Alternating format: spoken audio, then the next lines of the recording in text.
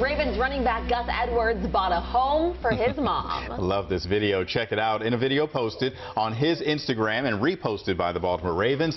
Gus the Bus shows his mom looking shocked as she walks through her new home. Wow, the caption reads, a new house for my queen. You can see the video also shows the fully furnished first floor with all those family photos on the wall. Now, I wonder how he did. Did he say, hey, mom, come on in and let me show you this place, and then said, this is yours? Oh, wow. I wonder how that works. She's just walking around just shocked. That's all the work she put in, going all those games in high school is paying off.